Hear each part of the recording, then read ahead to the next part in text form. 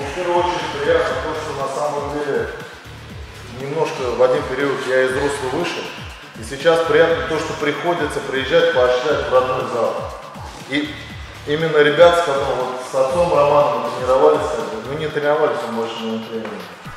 Вот. И приятно то, что в этом зале такие успехи как бы достигаются. И вот этот рост ну, мне очень приятно на самом деле, то, что это на родной земле, не то, что где-то, не то, что с кем-то, а то, что это происходит в родном зале с ребятами, которых я с детства знаю. Поэтому как бы от нашей команды, от команды Народного фронта, вот непосредственно от нас хотелось бы Романа поздравить небольшим денежным призом пошли, можно? И я думаю, что